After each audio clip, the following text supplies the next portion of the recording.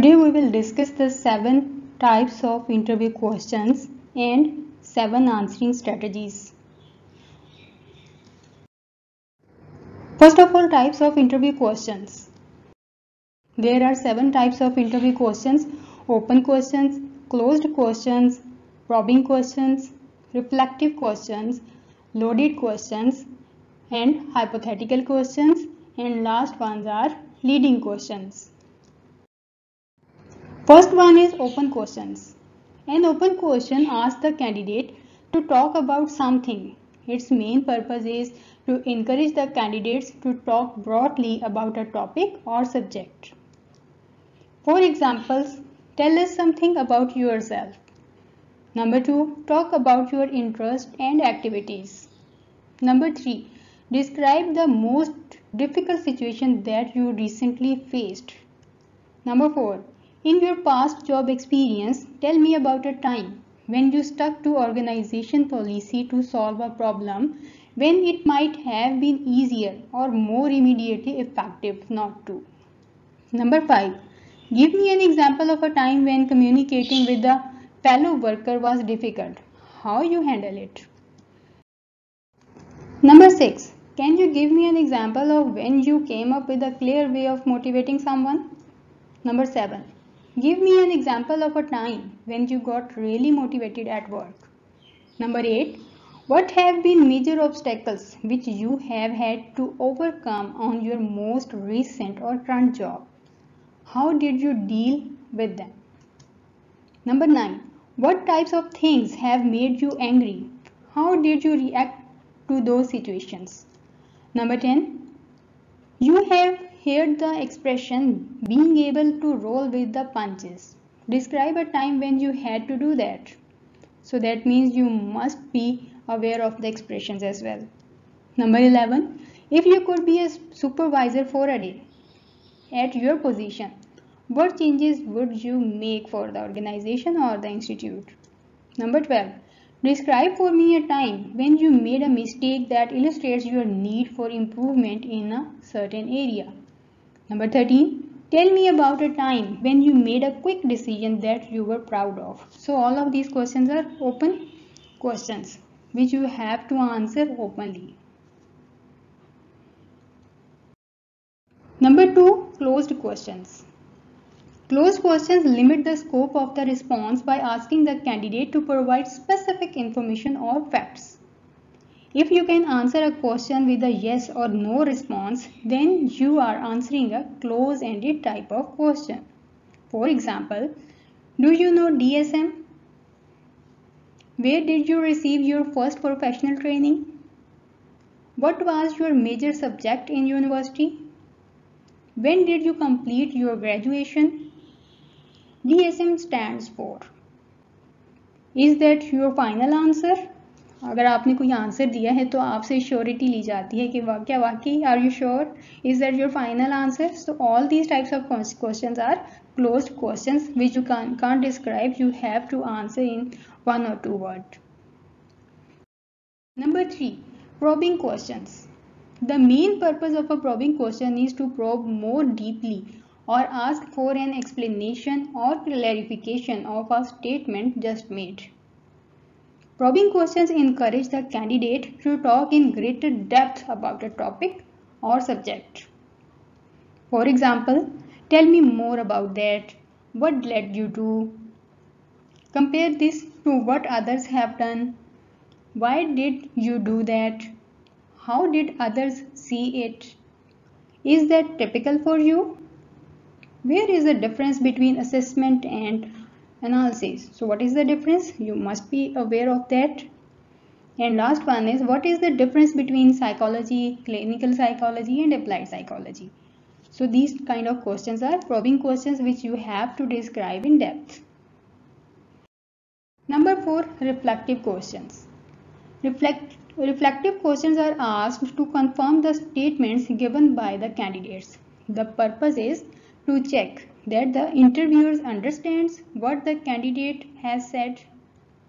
For example, that means you want the public sector organizations and institutes to be totally privatized. आपने कोई statement दी है कोई answer दिया है जिसको वो फर्दर कंफर्म करने के लिए एक रिफ्लेक्टिव क्वेश्चन कर रहे हैं कि आप किस बात का मतलब ये है so you have to clarify that और you have to confirm that number to does that mean that you don't favour a single nation curriculum in the world और Pakistan now, number 5 loaded questions. Loaded questions assesses the candidate's response to a sensitive issue. The main purpose of loaded question is to judge the candidate's ability to handle difficult and sensitive situations. For example, you are too short. Don't you think this is going to be a handicap for you? Number 2. Your GPA is in the first semester of your graduation is too low. How do you justify that? So these are the loaded questions. Number 3. Your voice is not audible to me how your students or colleagues will listen you again a loaded question next number 6 hypothetical questions a hypothetical question may involve a question hypothetical situation it may be asked to test the possible reactions of the candidate to a certain situation and mostly these kind of questions are asked from the candidates for example what would you do if you face a group of angry employees who want to discourage your efforts which you did for the betterment of organizations. Number two, one of your staff has been involved in activities detrimental to you, your workplace. He has been doing this for money that he needs for the treatment of his ailing mother. What would you do? Number three, your students are not satisfied with the teaching method which you used and they drop their interest in the subject as a result. So what strategy you will use now to keep them satisfied? Number 7. Leading questions. A leading question is asked to obtain a desired response. It leads a candidate to a particular answer आपने जो भी answer दिया है, उसमें से एक और question लिया जाएगा और आपको एक पार्टिकुलर आंसर की तरफ़ लेके जाया जाएगा। So that is the leading question for example don't you think that our economy needs more privatisation number two don't you agree that M Phil in applied psychology is better than M in clinical psychology After knowing the seven types of questions, let me give you some exercise and you have to identify which type of question is this. First one, don't you think that British economy is too closed? So that is open type of question. Number two, do you have any teaching experience? It's a loaded question. Number three, tell us something about the effect of globalization on Pakistan or America. That is hypothetical question. Number four, why did you leave your first job? Here's again a loaded question. Number five, when did you work for article publication. Now you have to identify the type of question. Number 6. Tell us something about your achievements. Again you have to identify the type of question. Number 7. Do your poor grades reflect your casual attitude to studies? You will identify the question type. Number 8. Do you think that religion and politics should not be mixed?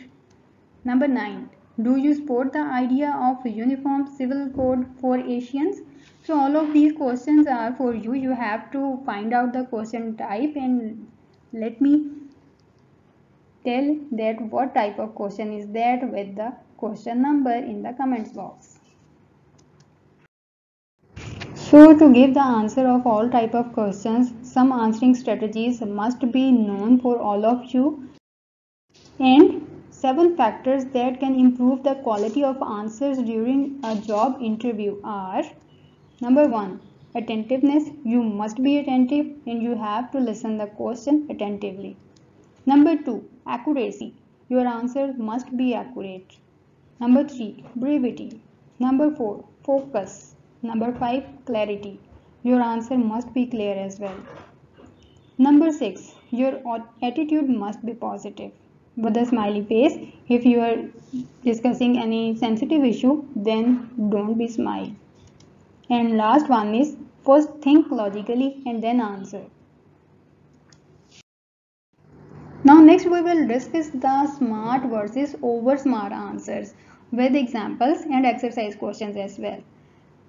So keep watching, keep learning and follow your curiosity. See you in the next one and you can also read my articles on my website. The link is given below easternpsychologist.com.